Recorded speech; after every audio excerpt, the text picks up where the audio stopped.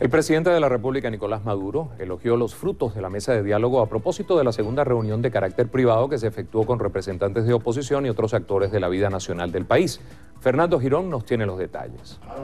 Destacó que en esta ocasión la oposición tuvo la oportunidad de escuchar a los familiares de las víctimas de los sucesos del 11 de abril del año 2002.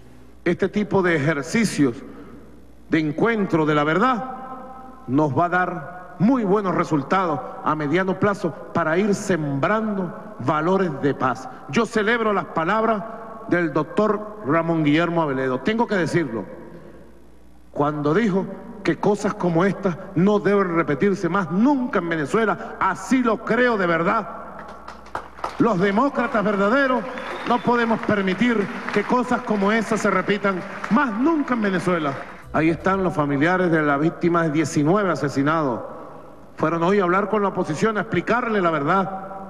Porque la oposición insiste en que dejemos libre, no sé por qué vía, a quien dirigió toda esa matanza, un comisario que está preso, fue enjuiciado, fue enjuiciado. Las declaraciones las ofreció durante la graduación de 1.200 nuevos efectivos de la Policía Nacional Bolivariana. Con esta cohorte suman 68 mil funcionarios egresados de la UNES. Anunció un nuevo despliegue del Plan Patria Segura.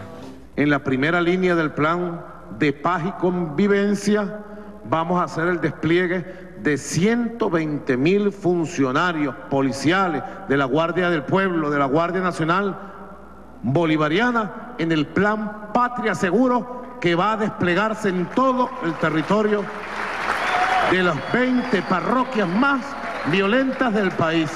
El presidente de la República firmó convenios de cooperación con empresarios del área automotriz y electrodomésticos en el marco de la Ley Orgánica de Precios Justos. Este viernes el Gobierno Nacional conmemorará los 15 años de la realización del referéndum consultivo que convocó a una Asamblea Nacional Constituyente.